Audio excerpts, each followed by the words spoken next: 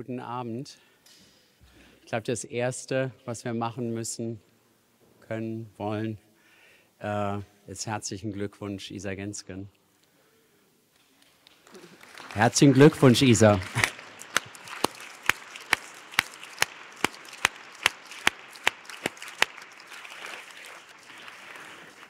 Zwei, drei Tage nach der Eröffnung ist die Isa Gensken vorbeigekommen und Wolfgang Timmerns war hier. Und sie hat sich einfach so gefreut über die Ausstellung und hat eine ganze Stunde in der Ausstellung verbracht. Also mit einer großen Dankbarkeit, dass wir diese Ausstellung hier haben durften und dass sie auch so eine Resonanz hatte. Ähm, Lisa Botti und ich haben ja die Ausstellung zusammen gemacht und wir waren in, ähm, in Basel mit der Elena Filipovic vom Abendessen und sie sagte, was wäre denn so eine ideale Ausstellung für die Halle? Und da habe ich gesagt, das haben Sie höchstwahrscheinlich alle schon gehört, aber trotzdem darf man es nochmal sagen. Haben wir gesagt, Brancusi und dann hat die Elena gesagt, naja, gibt es dann da noch irgendeine andere Ausstellung? Und dann kam wie aus der Pistole geschossen Isa Gensken. Die Freunde der Nationalgalerie haben dann, das war ja weniger als ein Jahr, haben dann letztendlich gesagt, na ja, da werden nicht so viele Leute kommen, aber ist eine ganz, ganz wichtige Künstlerin. Wir machen das. Und dann habe ich die Erika Hoffmann angerufen und habe gesagt, Erika, Sie erinnern sich, abends war das und habe ich gesagt, wir kommen gerade aus Basel und wir haben diese Idee und das ist ja weniger als ein Jahr hin. Und dann haben Ihre Zuversicht und Ihr Mut. Wir haben dann hier so ein bisschen Freude getanzt. Vielen, vielen Dank. Das hat aber wirklich so, das war nachdem die gesa Freunde gesagt haben, naja, wenn ihr das machen wollt, das war wirklich eigentlich der Impuls. Parallel zu dem Anruf zu Ihnen, Erika, waren kryptische Textnachrichten zu Wolfgang Tillmanns und Daniel Buchholz, die ja auch ernst genommen habe, obwohl die etwas kryptisch waren. Vielen, vielen Dank. Ja, 27. November 2023, heute wird die Isa Gensken 75. Und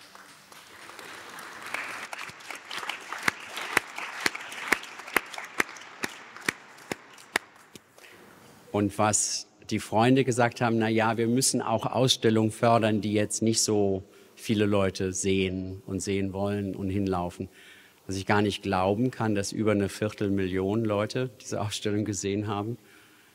Und obwohl am Eröffnungsabend Lisa, Erika und ich überlegt haben, sind 75 Arbeiten, ist immer ein Eins zu eins, dann darf eigentlich nur, dürfen eigentlich nur 75 Leute da rein.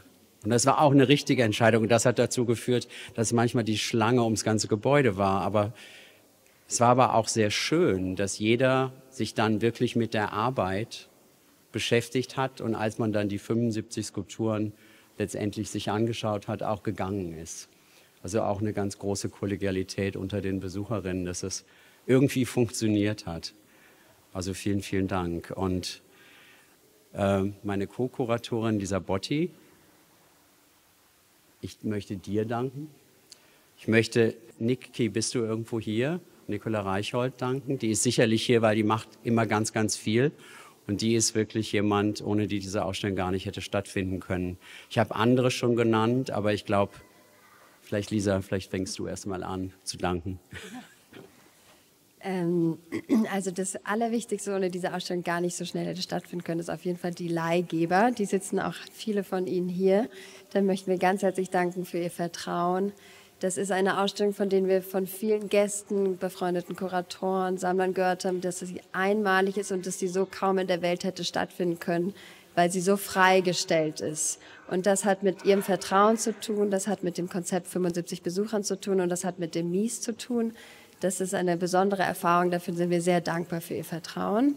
Wir möchten natürlich auch dem Studio von Isa Gensken sehr danken, Herrn Chaya und Marc Juffert, Ganz besonders natürlich der Galerie Buchholz und dem gesamten Team, vor allem natürlich auch den Freunden, ohne die die Ausstellung nicht stattfindet. Heute ist die Finissage. Das ist ähm, irgendwie so ein Moment, der ist auch so ein bisschen traurig. Aber wir haben ganz viel Glück, dass der nicht so ganz traurig bleibt, weil wir eröffnen heute noch eine neue Skulptur. Und die machen wir nach dem Vortrag von Katrin Leuch an. Das ist der Vollmond. Den sehen Sie schon so ein bisschen da hinten im Schatten, ein kreisrundes Ball. Und da sind wir sehr, sehr dankbar, auch besonders der Galerie Buchholz wieder, dass die ein Jahr bei uns noch stehen bleibt. Also die Ausstellung endet, aber Isas Präsenz bei uns in der neuen Nationalgalerie nicht. Ich glaube, was ich noch sagen wollte, was mir sehr wichtig ist, diese Ausstellung, wenn man eine Ausstellung macht, ist ja immer, warum macht man sie jetzt? Warum macht man sie hier? Und warum macht man sie überhaupt?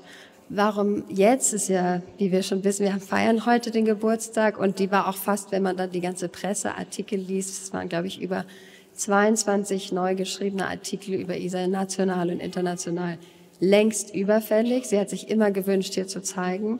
Ähm, warum hier? Das wurde ja auch schon oft erwähnt, dieser wunderbare Dialog mit Mies van der Rohe, der auch nur einmalig so hier, aber auch mit der Stadt, mit der Umgebung, mit der Straße, mit den Vorbeifahrenden und warum überhaupt. Diese Besucherzahlen haben uns wirklich überrascht. Also das Ziel von der Ausstellung war wirklich Isa Genskin prominenter zu machen, was sie einfach verdienterweise auch durch ihre Biografie hat. Und das haben wir, glaube ich, geschafft. Wir hatten allein bei unserem Kinderworkshop 12.000 Kinder, die mitgemacht haben. Und jetzt wurde sie ja auch noch von der Monopol zur wichtigsten Künstlerin des Jahres gewählt. Also wir sind sehr dankbar über diese Ausstellung. Und zum Ablauf, wir werden jetzt einen Vortrag hören von Katrin Leuch. Katrin Leuch ist Kunsthistorikerin und Kritikerin, die jetzt extra aus dem Rheinland heute angereist sind. Wir sind sehr dankbar dafür.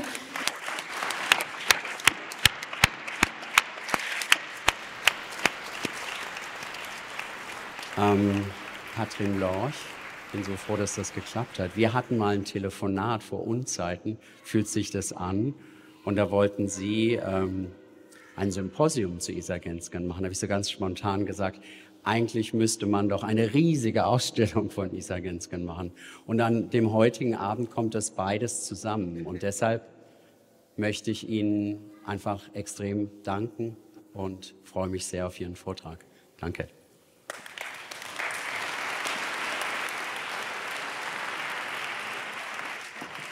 Ja, guten Abend. Ich freue mich, dass wir heute Abend hier sind und dass ich so viele Zuhörer habe.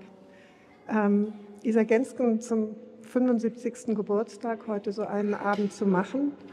Das Anknipsen des Vollmonds, der wohl schon etwas länger hier installiert ist, bis heute erstmal abzuwarten. Und ich weiß, als ich mit Daniel darüber telefonierte, ob wir nicht doch mit einem Vortrag die Ausstellung beenden, da kam irgendwie so, so ein bisschen der Abend der Erleuchtung ins Spiel als Begriff. Also, dass das nicht nur offiziell ist, sondern dass das vielleicht auch nochmal eine Möglichkeit ist, zu reflektieren, was hier passiert ist. Und ich bedauere es unendlich, dass Isa Gensken heute Abend nicht da ist. Freue mich aber, dass ich gehört habe, dass sie in ihrer Ausstellung war und auch sehr glücklich darüber war. Als Thema wurde mir heute Abend Rezeption gestellt. Die Wahrnehmung der Künstlerin, die Aufnahme ihres Werks. Äh, ich fand es ganz passend, dass ich bei dem Besuch hier im Sommer, als es darum ging, was machen wir hier, was wird das Thema meines Vortrags, spontan gefragt worden bin, warum so wir in der Kunstszene eigentlich Isa Gensken immer als Star apostrophieren. Das sei doch eigentlich eine Künstlerin, die auf der Straße draußen niemand kennt. Also wenn man jetzt hier jemanden anspricht, würde ihm der Name nicht sagen. Da denkt man natürlich nach, ja, kann man jetzt einfach sagen, das ist eine Künstler, Künstlerin oder die Leute passen halt nicht auf, wenn es um Frauennamen geht oder Bildhauerei ist irgendwie schwieriger als Malerei. Und dann war die Ausstellung für mich auch deswegen so interessant und ich bin an dem Tag zweimal durchgelaufen an einem Tag, also immer hinten raus, vorne wieder rein, weil man ja nicht in Gegenrichtung unterwegs sein darf. Ähm, und vor dem Hintergrund dieses Werks, das man hier sieht und dann natürlich in Gedanken auch mitdenkt, also was für Ausstellungen diese Künstlerin, ähm, an was für Ausstellungen sie teilgenommen hat. Also drei Ausgaben der Documenta, und zwar vollkommen verschiedene Ausgaben der Dokumenta, 82, 92 und 2002. Ganz andere Dokumenta-Kuratorengenerationen. Deutschen Pavillon bei der Biennale von Venedig 2007 bespielt. Ähm, und die große Retrospektive im Museum of Modern Art. Das ist eine, ähm, das ist eine Präsenz und ist eine Fallhöhe. Da gibt es nicht viele deutsche Künstler, die da irgendwie anknüpfen können. Und als ich beim zweiten Mal an diesem Tag im Sommer durch die Ausstellung gegangen bin, ich war noch ein paar Mal danach da, aber beim zweiten Mal war es dann so, dass ich als Kritikerin, also ich schreibe seit den 90er Jahren über Kunst, dass ich dann plötzlich so mitgedacht habe, also Hyperbolos und Ellipsoide. Kann ich mich nicht daran erinnern, dass direkt, als die das erste Mal hingelegt wurden, irgendeine Zeitung das überhaupt nur wahrgenommen hätte. Dann kommen diese fantastischen Betonskulpturen und ihre Ansage, dass jeder Mensch doch mindestens ein Fenster braucht. Ich glaube, das war was, was in der Kunstszene wirklich die Leute sehr berührt hat, als das erste Mal eine Ausstellung mit dem Titel gezeigt wurde. Als ich das damals, glaube ich, auch noch so ein bisschen situativ auf die Galerie Buchholz und dieses eine Fenster bezog, was sie wohl da auch so angeregt hat. Das haben sozusagen viele gewusst, aber es ist nicht nach draußen gedrungen. Und man kann auch ein ganzes Stück weitergehen, also an diesen fantastischen Stelen vorbeigehen. Dann erinnert man sich, wie man in Artforum davon begeistert gelesen hat, dass so ungefähr ab Betonskulpturen gab es Texte zur Kunst. Die haben Isa Gensken immer ernst genommen, die haben immer reflektiert, was sie macht. Aber ich weiß, dass man wirklich bis zu Kinderspielen gehen muss. Eine Ausstellung in ihrer Galerie in Köln, bis die FAZ zum Beispiel das erste Mal dieses Werk überhaupt wahrgenommen hat. Bis dahin war das irgendwie so, ja, so eine Bildhauerin, wo nicht ganz klar ist, was die macht. Und ich kenne den Redaktionsalltag, wenn man da nicht schnell eingepackt wird und wenn man da nicht schnell reagieren kann und sagen kann, das ist aber, wird demnächst in New York gezeigt oder das ist aber ganz teuer und war jetzt auf der Art Basel plötzlich teurer als sowieso, dann flupp ist es wieder weg. Und insofern kann ich relativ genau sagen, dass so aus, von dem Bereich an der Ausstellung eigentlich erst die Medien dabei sind und eigentlich Isa Gensken ab da erst wirklich da ist, in dem, was man so als größere deutsche Öffentlichkeit apostrophieren kann, auch wenn sie sozusagen in der Rezeption der Medien eigentlich schon dort da war. Was ist die Ursache dafür? Für mich ist es immer eine Diskrepanz gewesen. Und es reicht nicht zu sagen, dass man in Deutschland wahrscheinlich so abgesehen von dieser Blockbuster-Kultur nicht so ein wirklich tiefes, selbstverständliches Interesse an zeitgenössischer bildender Kunst hat natürlich, dass Frauen es immer schwerer haben in der Rezeption, Bildhauerei irgendwie komplizierter ist. Aber im Fall von Isa Genskin irritiert mich auch, dass eigentlich die Wahrnehmung in der Öffentlichkeit von Anfang an getrübt war. Ähm, ich habe mich das erste Mal mit dem Werk beschäftigt, als ich studiert habe in einem Probe-Seminar, das hieß Übung für Originalen in der Artothek im Bonner Kunstverein. Und irgendwie passt das, weil ich finde, wir machen ja heute auch so eine Übung für Originalen. Also Sie können ja alle an mir gut vorbeigucken und sehen dann die Kunst, was ich ganz toll finde. Und damals hat mich die damals als Dozentin dort arbeitende Eva Meyer-Hermann gewarnt, wenn ich über Isa Gensken ein Referat halten würde, da würden mir sicher viele begegnen, die einfach nur sagen, ach, ja, das ist die Frau von Gerhard Richter und die hat jetzt eine Skulptur gemacht und da klang dann immer so mit, dass es vielleicht so eine Art Seitenlinie ist von Gerhard Richter. Also klar hat Isa Gensken das gemacht, aber ist schon klar, wo das herkommt. Ich habe mich dann zum Atelierbesuch bei Isa Gensken angemeldet und war erstaunt. Erstmal, dass sie sich Zeit genommen hat für Studenten. Und dann war ich sofort frappiert von Isa Genskens Schönheit, ihrer Offenheit, ihrer wahnsinnigen Zurückhaltung, ihrer Geduld, ihrer Wortkargheit. Und eigentlich taute sie im Verlauf eines langen Besuchs nur zweimal kurz auf. Einmal fragte sie, ob ich als Bonner Studentin nicht auch vielleicht mit dem gerade erst berufenen Professor Stefan Germer zu tun hätte. Mit dem hätte sie nämlich gerne ein bisschen mehr zu tun. Der hatte gerade mit Isabel Graf damals die Texte zur Kunst gegründet. Und dann sprachen wir über ABC Wolkenbügel, einen Doppelbogen aus Beton, auf dem ein doppelter Metallrahmen saß und den sie an eine Bücherei geschraubt hatte zu den Skulpturprojekten Münster im Jahr 1987. Und das war eine Arbeit, über die ich gerne länger sprechen wollte mit ihr. Die ist aus der Zeit der Betonskulptur ein bisschen früher. Und die war für mich so ein Brückenschlag über die Moderne hinweg in eine architektonische Phase, die schwer greifbar ist, die in Deutschland damals nicht sehr bekannt war, überhaupt nicht rezipiert wurde, so halb vergessen war und wo sie mit ganz großer Selbstverständlichkeit den Münsteranern bei den Skulpturprojekten zugemutet hatte, lange zu suchen, bis man, diesen, bis man diese Seite der Bücherei überhaupt gefunden hatte und dort etwas zu zeigen, was so an die Architektur anschloss, dass man es zum Teil fast nicht sah. Es gab viele Besucher, die damals herumliefen und es praktisch nicht gefunden haben. Und Isa Gensken, als wir darüber sprachen, hat eigentlich nur einen Punkt total wichtig und auch sehr lustig gefunden, nämlich, ich war sehr erschüttert, dass man das abgerissen hatte, dass die Münsteraner das nicht behalten wollten, dass sie das also abgeräumt haben. Und es hat lang gedauert, bis sie es losgeworden sind, weil das technisch gar nicht so leicht ist, so ein Betonding wieder abzumachen und abzubauen. Und Isa Gensken fand es wahnsinnig lustig, dass das Abbauen, dass der Abbruch wesentlich teurer war als der Etat, den sie bekommen hatte, um es dahinzustellen. Sie griff dann noch einmal während des Gesprächs zum Stift. Ich war total elektrisiert natürlich, weil sie lieber als mit Worten mir auf einem Blatt Papier erklären wollte, in welchen Dimensionen sie tatsächlich plant. Also die Wolkenbügel, die so hoch waren wie anderthalb Stockwerke eines öffentlichen Bauwerks, das war es nicht, worum es ging. Inzwischen haben wir so Sachen wie die Rose hier. Damals hat sie dann so einen Kreis über einen holländischen Platz gesetzt der war so unglaublich groß, dass sie dann das Blatt nochmal umgedreht hat, um es nochmal größer zu machen, um klarzumachen, dass das die Dimensionen sind, in denen sie denkt.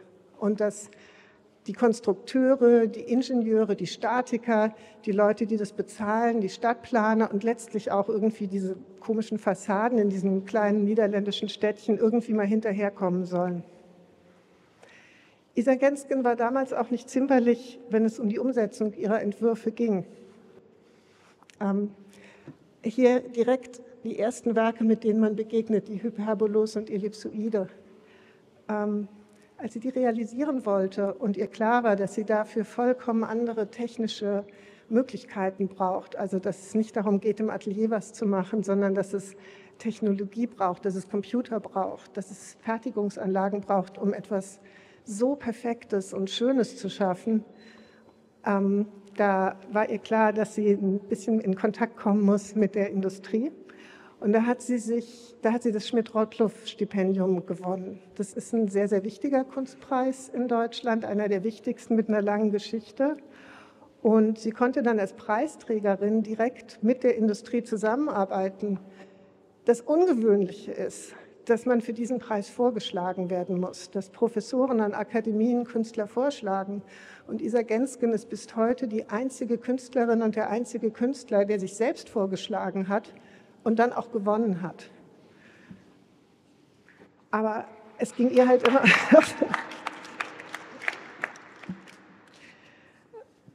Ich hatte dann gut 30 Jahre nach der ersten persönlichen Begegnung und viele Kritiken und Ausstellungsbesprechungen später aus meiner Perspektive, hatte ich dann Gelegenheit, mit Isa Gensken tatsächlich zu arbeiten, wenn auch nur über die Bande ihrer Galerie.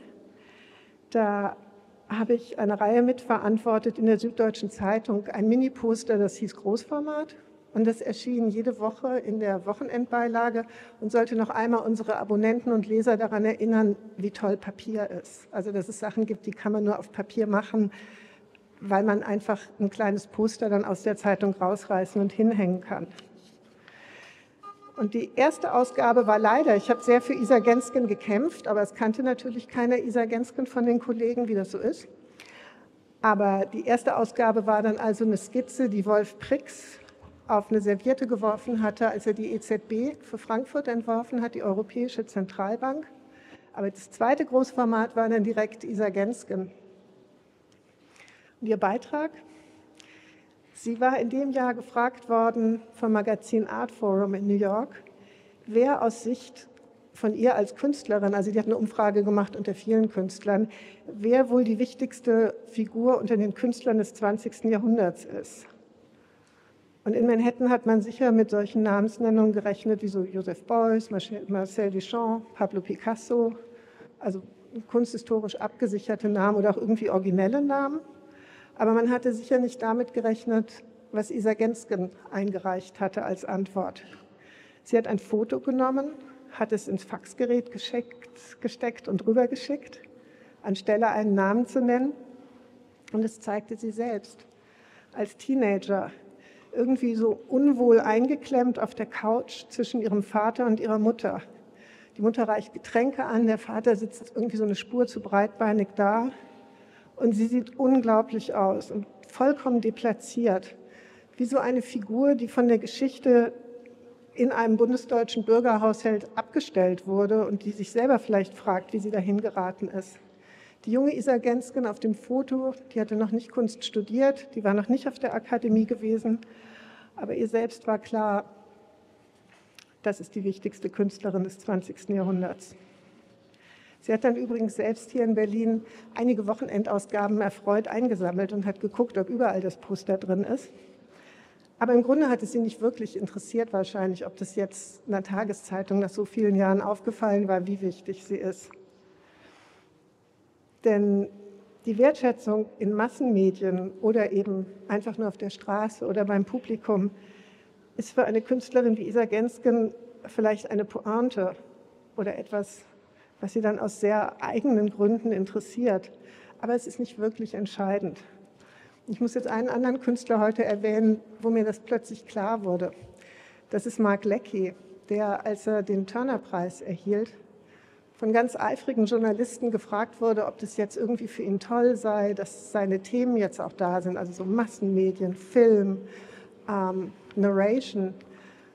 Und man sah ihn damals im Fernsehen, wie er so ein bisschen sich erstaunt abwandte und er guckte auf das Dinner, das auch gerade stattfand und sagte, I'm not doing it to do something about mass media or about film.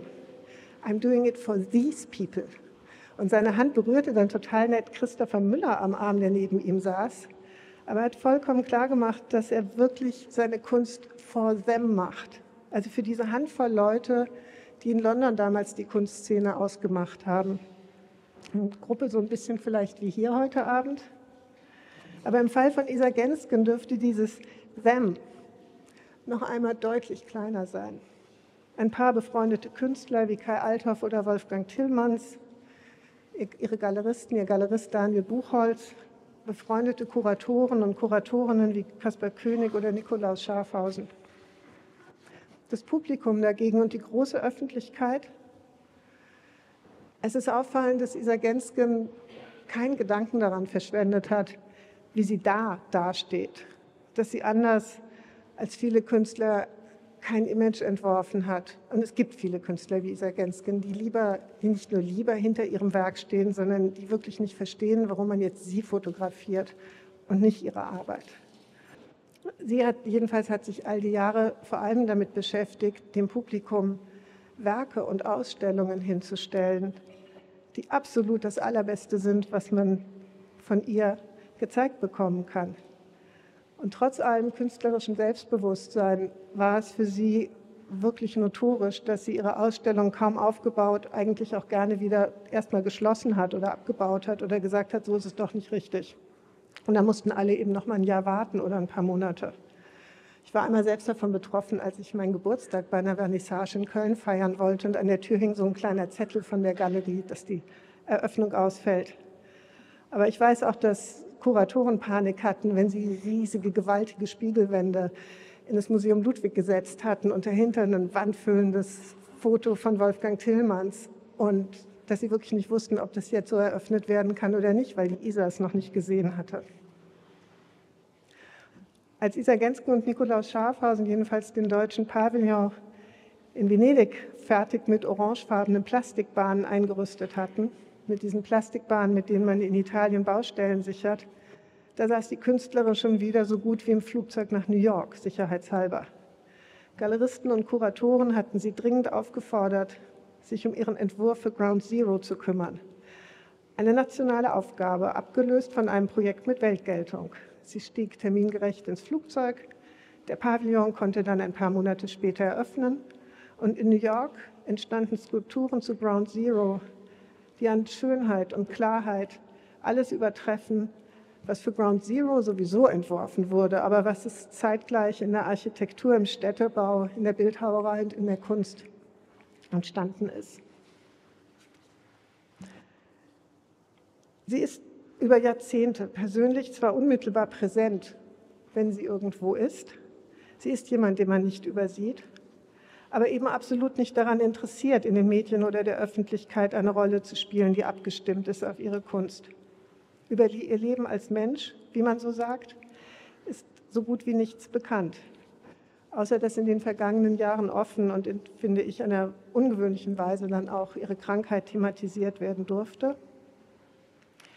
Aber ich habe jetzt bei den Vorbereitungen zu dem Abend heute habe ich ein Buch entdeckt, aus dem ich gerne ein bisschen vorlesen will, weil ich das Gefühl habe, dass Isa Gensken auch das alles, was ich jetzt sage, also Image, Kindheitsgeschichten. Ich bin Journalistin. Ich weiß, wie froh man ist, wenn man eine Künstlerin trifft und die sagt dann so, pff, meine erste Erinnerung ist das folgende. Und dann saß ich mit den Stiften da und dann war schon klar. Und ähm, im Fall von Isa Gensken gab es auch, ein, wahrscheinlich hätte es für mich auch ein gewisses Interesse an ihrem Privatleben gegeben, weil sie ja die Frau von Gerhard Richter war. Ähm, also alles das, was man so gefragt wird und was dazu beiträgt, dass das jemanden, der der wichtigste Künstler der Welt ist, aus der eigenen Perspektive auch jemand wird, den man in der Öffentlichkeit kennt. Das hat sie 1993 hat sie das in dieses Buch gepackt. Und zwar unter dem Titel Skizzen für einen Spielfilm. Das ist äh, von der Kunsthalle Bremen dann rausgegeben worden. Und zum Beispiel finde ich es heute irgendwie schön, dass man vorlesen kann, was Isa Gensken aufgeschrieben hat für den 27. November 1948. Denn das war der erste Take dieses Films. Kapitel 1, Bad Oldesloe, November 1948. Ein kalter, regnerischer Nachmittag in einer Kleinstadt im norddeutschen Flachland, Bad Oldesloe. Ein knapp 30-jähriger Mann rast auf seinem roten Fahrrad auf ein altes, großes Backsteingebäude zu, das städtische Krankenhaus. Uwe Gensken, so sein Name, lässt sein Fahrrad neben dem Eingang fallen, rennt die Treppen hoch, geht durch die Tür. Die Entbindungsstation liegt in einem Krankensaal an einer langen Reihe von Betten, geht er vorbei bis zu seiner Frau. Sie strahlt. Uwe, es ist ein Mädchen. Er lächelt zögernd, verlegen das Baby an und fragt unvermittelt seine Frau, wie heißt es denn? Ich weiß es noch nicht, antwortet sie. Vielleicht Petra. Eigentlich wollte ich ja einen Jungen haben. Uwe beugt sich über das Kind und sagt, Hanne Rose sollst du heißen, wie deine Mutter.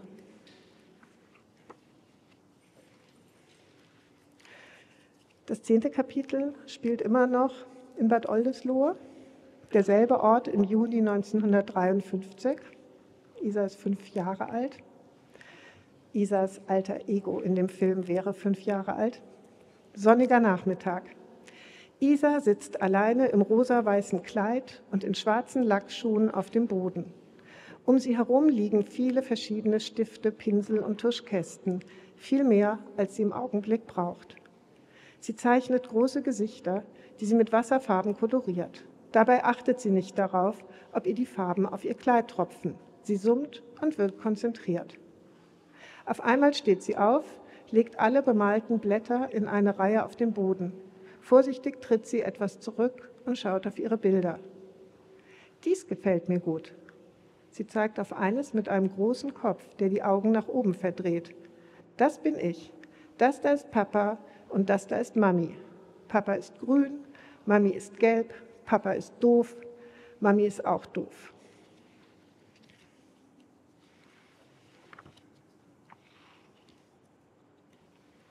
Es gibt dann eine Szene, die tatsächlich so an das Innerste geht, was eine Beziehung berührt. Da schildert sie, wie sie bei einer Party von Klaus Rinke ist, das alter Ego in dem Film, das inzwischen auch Isa Gensken heißt. Und Gerhard Richter, GA, sagt, Frau Gensken, ich würde sehr gerne einmal mit Ihnen tanzen. Und etwas später schildert sie dann ein sehr intimes Gespräch, wo sich Gerhard Richter und sie in der Küche unterhalten und sie fragt, warum sie vielleicht ein ganz besonderes Paar sind. Und das ist so ein langes Hin und Her, wo man denkt, das kann man eigentlich gar nicht öffentlich schildern. Aber Isa Gensken als jemand, der scheu ist, der sich nicht öffentlich äußert zu privaten Dingen, der sehr zurückhaltend war, hat das alles hier aufgeschrieben. Und ich mag, dass es am Ende darauf hinausläuft, dass sie sagt, ihr alter Ego sagt, die Art und Weise, wie die beiden ein Paar sind, ist genau das Gegenteil von Tragik. Es hat etwas mit Zukunft zu tun und nicht mit Kleist oder so. Und er sagt dann, ich würde eher sagen, wir sind ein sonderliches Paar. Und sie sagt dann, es entstehen Ideen, die heilig sind, einen Wert haben. Das ist der Grund meiner Liebe zu dir. Und das hat sie dann alles veröffentlicht und in dieses Buch gepackt und ist jahrzehntelang nicht darauf zurückgekommen.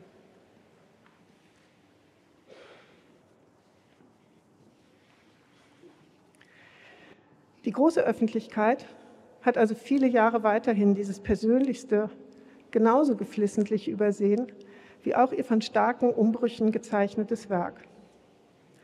Sie war ein Star in der Szene, aber in den Medien blieb sie weitgehend unsichtbar. Ihr Werk wurde in allen bedeutenden Museen gezeigt, es wurde angekauft. Es gibt hervorragende Kataloge mit wunderbaren Beiträgen. Und da sind auch besonders die, die, Ausstellungen und Kataloge zu empfehlen, die in den letzten Jahren sich nochmal mit dem Frühwerk beschäftigt haben, also nachgeholt haben, was vielleicht vor 40 Jahren nicht gemacht wurde. Und dennoch haben auch diese Kataloge die Sphäre der inneren Kunstszene eigentlich nicht verlassen. Und man kann das nicht nur darauf hinunterbrechen, dass sie selbst scheu war, sondern natürlich auch, dass das Werk dass wenn man jetzt hier sich die einzelnen Gänge anschaut, ja tatsächlich sehr, sehr klar die Stilbrüche und das Neuansetzen und es einfach sein lassen und dann wieder etwas vollkommen anderes beginnen, das ist ja auch unübersehbar bei ihr.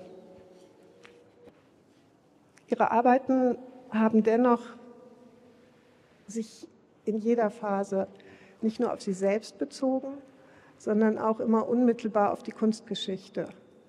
Während zum Beispiel ABC Wolkenbügel noch ein Zitat war, waren dann andere Ansagen direkt von Duchamp inspiriert. Also als sie zum Beispiel sagte, sie wolle etwas schaffen, das genauso modern ist wie, die, wie eine HiFi-Anlage, da hat sie natürlich Duchamp zitiert, der auf dem Flugfeld sagt, er möchte etwas machen, was so modern ist wie äh, Dinge, die fliegen können. Sie hat Utopien formuliert in ganz einfachen Sätzen, wie eben jeder Mensch braucht mindestens ein Fenster.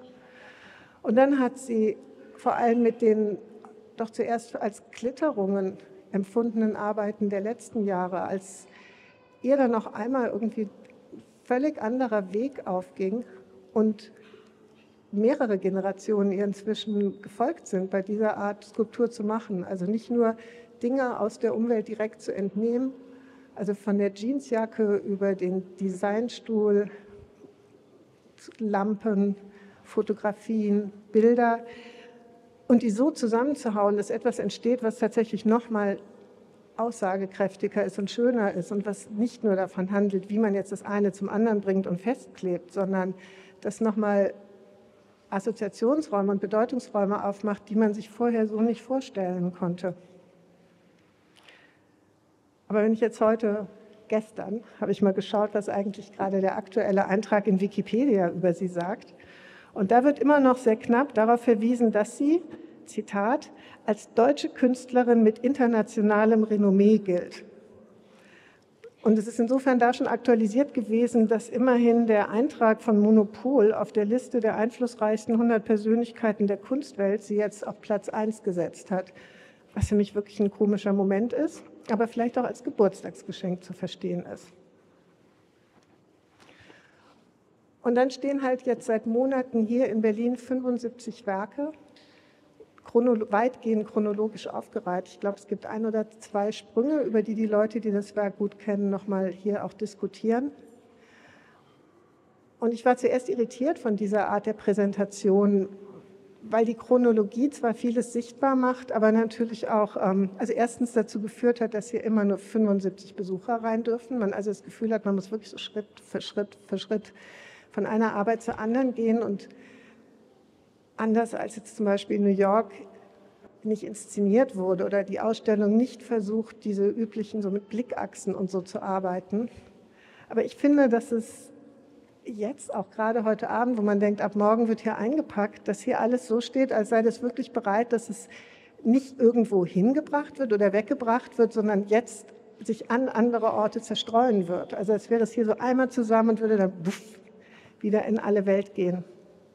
Und ich freue mich, dass der Mond vor der Tür bleiben wird, äh, von dem ich finde, dass er hier wirklich so aufgepflanzt ist wie so ein Ausrufungszeichen.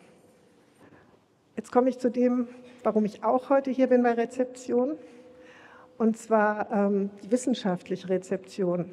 Und da würde ich jetzt gern Susanne Gensheimer zitieren, die bei einem Symposium vor gut anderthalb Jahren in Düsseldorf sagte, dass sie eigentlich erstaunt ist, dass es über eine Künstlerin wie Isa Gensken sehr wenig Dissertationen bislang gibt, dass sie im wissenschaftlichen Kontext fast gar nicht präsent ist und ob man nicht mal sowas machen sollte wie ähm, eine Promovierende finden, die dann sozusagen das Werk einmal schlüssig aufarbeitet.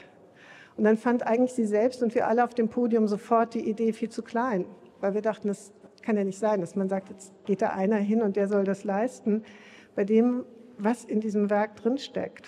Und das hat dann zu Überlegungen geführt, ähm, ob man dieses Werk nicht nehmen könnte, weil es für die internationale Wissenschaft immens viel leisten kann für die Kunstwissenschaft und auch wirklich dieses Werk, Isa Genskens Werk, dafür geeignet ist.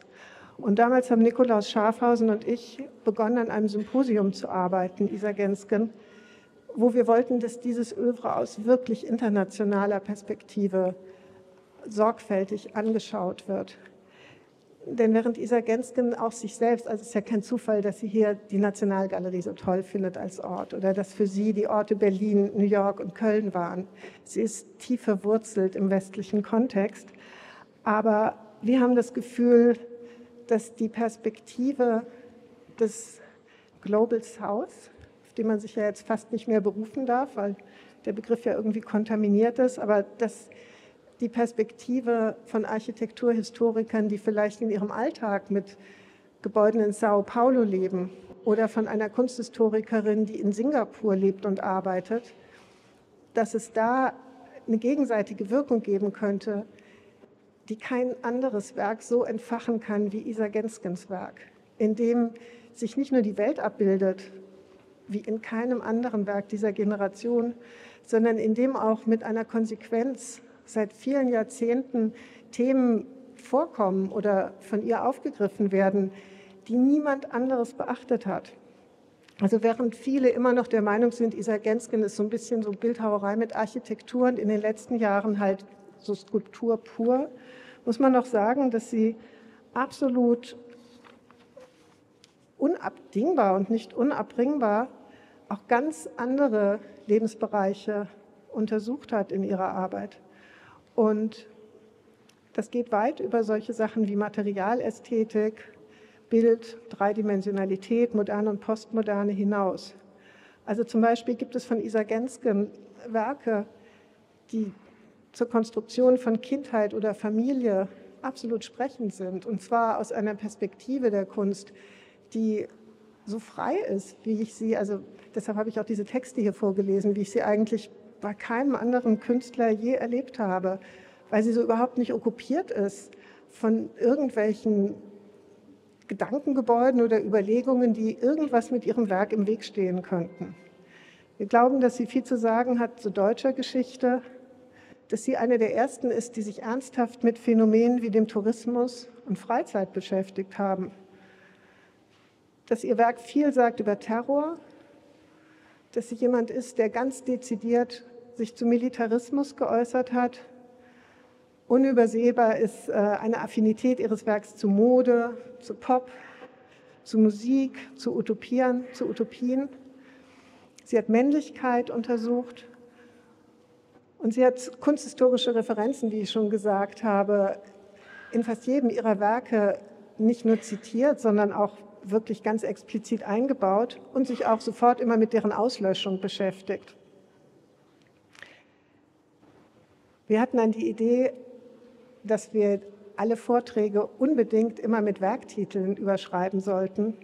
Und es hat einen wahnsinnigen Spaß gemacht, so viele Jahrzehnte durchzugehen und nur die Titel anzuschauen. Also Schwule Babys, Ground Zero, Leonardo da Vinci, Ich, Poverty, Diskussion, Halleluja. Und natürlich hätte ein Vortrag nicht fehlen dürfen. Das wäre die Auseinandersetzung von Literaturwissenschaftlern mit der Poesie von Isa Gensken und ihren Titelfindungen gewesen. So, jetzt muss ich es irgendwie hinbekommen, so einen Spannungsbogen. Ich, ich bin jemand, der schreibt, der eigentlich keine Vorträge hält, aber dieser Vortrag ist über die Rezeption von Isa Genskens Werk, eine mögliche Rezeption von ihrem Werk. Die Rezeption, wie ich sie wahrgenommen habe über die vergangenen Jahrzehnte. Aber man muss jetzt irgendwie so in einem Atemzug darauf kommen, zu sagen, dass ein Begriff wie Rezeption dann auch wieder für Isa Gensken was Grundverkehrtes hat. Weil das ja so klingt, als würden solche Werke wie die, die jetzt hier in meinem Rücken sind, herumstehen und darauf warten, dass jemand kommt und sie wahrnimmt und sich Gedanken macht, vielleicht zu einer Interpretation findet und sie versteht und dann vielleicht die Beachtung steigt und noch mehr Leute kommen und gucken sich das dann an. Ich muss nochmal Danke sagen, dass die Ausstellung heute Abend geöffnet geblieben ist, weil ich wirklich glaube, dass wenn man vor einem Kunstwerk von Isa Gensken steht und man hat diesen Moment der Offenheit, dass dann etwas passiert, was ich jetzt doch mit einem relativ bildungsbürgerlichen Zitat einrahmen muss. Ich mochte es, dass Isa Gensken sich in ihrem eigenen Text vorhin gebeten hat, jetzt bitte keinen Kleist, aber jetzt doch bitte Kleist das Erdbeben in Chile, das ja gerade fürchterlich aktuell ist. Weil es soll nicht um die Katastrophe gehen, sondern auch um die Möglichkeit der Katastrophe, um die Statik einer Katastrophe. Und zwar an die Stelle, als Geronimo sich gerade an zentrale Figur der Geschichte, sich gerade an einem Pfeiler im Gefängnis erhängen möchte und das Erdbeben setzt ein und alle Gebäude brechen zusammen. Und dann schreibt Kleist, der Boden wankte unter seinen Füßen. Alle Wände des Gefängnisses rissen. Der ganze Bau neigte sich nach der Straße zu, einzustürzen. Und nur der seinem langsamen Fall begegnende Fall des gegenüberliegenden Gebäudes verhinderte durch eine zufällige Wölbung die gänzliche Zu-Bodenstreckung desselben. Im Sturz gibt es hier einen Moment einer neuen Festigkeit, und dann erst den vollkommenen Einsturz. Sturz und Gegensturz, zwei aufeinander sich zubewegende Dynamiken und ein kurzer Moment, in dem vieles möglich wird. Und so kann es sein, und nur vor einem Werk von Isa Gensken kann es so sein, dass wir irgendwie auf dieses Werk zustürzen mit dieser Welt und dass es sich uns idealerweise in diesem Moment zuneigt. Und wenn wir uns dann treffen, dann entsteht eine unerwartete, vollkommen stabile Festigkeit, eine kurze, klare Stille und vieles wird möglich, vielleicht für diesen kurzen Moment. Mir bleibt jetzt noch erstmal zu hoffen, dass Berlin im Jahr 2024 klüger ist, als es Münster war Ende der 80er Jahre. Und dass der Vollmond, den wir hier gleich anknipsen, nicht mehr ausgeht ist angekündigt, dass er jetzt für ein Jahr hier brennt. Und ich hoffe mal, die Berliner kriegen das hin, nicht eventuell doch höhere Abrisskosten mal wieder auszugeben, als es gekostet hat, das Ding hier aufzustellen und dass der da bleibt. Denn das halte ich für wichtig. Vielen Dank, dass Sie mir.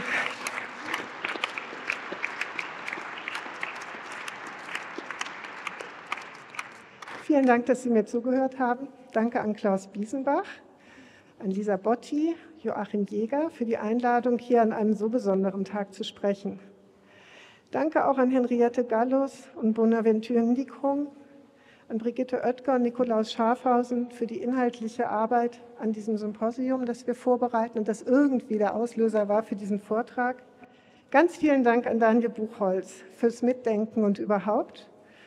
Mein größter Dank heute Abend an Isa Genske, deren Werk mich so viele Jahre begleitet und das mir so viel beigebracht hat. Und alles erdenklich Gute wünsche ich Ihnen zu ihrem 75. Geburtstag. Danke.